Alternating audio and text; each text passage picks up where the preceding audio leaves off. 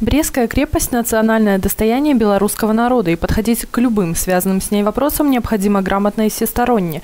Именно поэтому планирование развития территорий, прилегающих к мемориалу, началось с их тщательного анализа. С января по октябрь 2013 года группа инвентаризации и документации проводила натурные и архивные исследования, чтобы иметь комплексное знание о современном состоянии объектов крепости. Результаты этой работы были представлены 5 ноября на расширенной рабочей встрече участников проекта. Все полученные Полученные данные были скомпонованы и представлены общественности в виде историко-географического атласа, который является визуальным отображением наследия Брестской крепости. Подходить к этому вопросу мы начали примерно год назад. Мы начали обсуждать, что, нужно, что можно делать с крепостью и поняли их недостаток знаний, потому что на тот момент мы не знали, как устроена крепость. Чтобы э, проектировать что-то с крепостью э, к юбилею Бреста в 2019 году, нужно понимать, как оно устроено. Не менее важное место в деле вовлечения мемориала в деловую и культурную жизнь города занимает создание сети новых публичных пространств на базе культурно-исторического наследия. Удачный с точки зрения туризма проект застройки территорий, прилегающих к мемориалу, выбирали 6 марта 2013 года.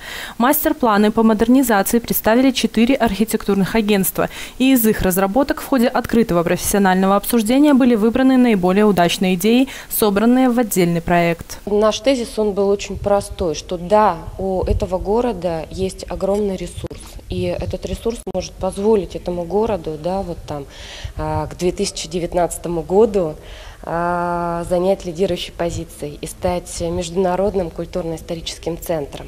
Результатом более чем годичной работы большого количества единомышленников стала концепция развития Брестской крепости и прилегающих к ней территорий, презентация которой состоялась 19 декабря в ходе расширенного заседания горосполкома. Руководитель направления музейный проектировщик Дитер Богнер представил участникам заседания разработки по зонированию, инфраструктуре, новым объектам, маркетинговой программе, графикам реализации и бюджету проекта проекта «Брест-2019». В основу концепции заложена модель устойчивого развития территории, при этом сохраняющая крепость как историко-культурное наследие.